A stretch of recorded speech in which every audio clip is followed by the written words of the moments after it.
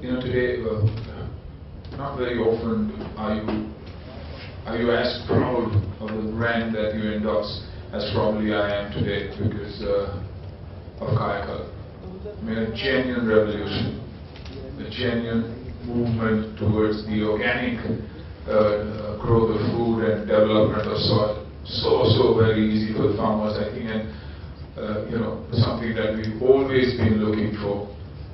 Organic, organic, organic is the word that is being used time and again, whether it's with food or with any product that we're talking about. Uh, so congratulations on Kayakalp, Rajesh and the entire IL team.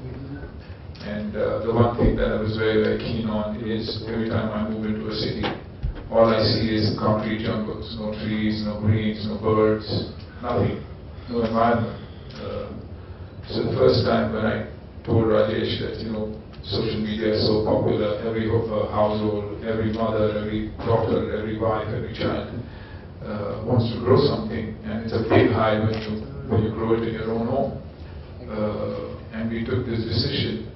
Instantly they said, whatever you want to do, we will we'll do and work towards it. So I'm very, very excited about, we've heard of farm to table, but uh, very, very keen on, on terrace to table or balcony to table, where we could probably grow the greens and also uh, through your own little videos educate people how to do it. It's very simple.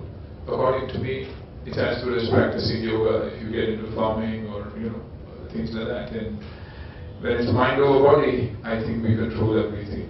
Uh, so thank you for giving me the opportunity and thank you for uh, having me here once again. Congratulations on Kayakalp. God bless.